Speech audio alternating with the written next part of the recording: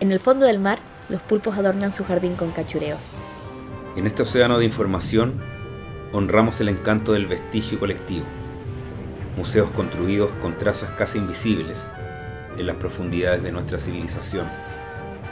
El cachureo, el cachivache, lo aparentemente inútil, lo perversamente tildado como desperdicio, lo que la inmediatez llama chatarra, es, a nuestro parecer, un amable rastro humano.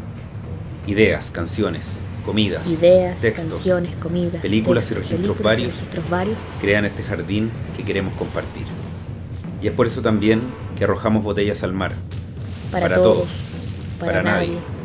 para otros pulpos que ornamentan su propio jardín, para quienes divagan sus respuestas y abrazan el procrastinar, para quienes se confunden de camino hasta estrellarse con la belleza y luego aparecen bailando en pijamas. Bienvenidos a El al Jardín del Pulpo.